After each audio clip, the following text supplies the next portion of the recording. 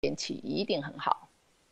那如果呢，看到他穿着一个湿的布的湿的草鞋啊，在路上快快的行走呢，就表示啊，天快要下雨了。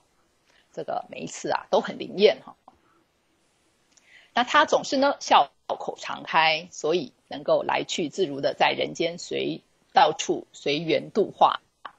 那布袋和尚呢，在化缘的时候呢，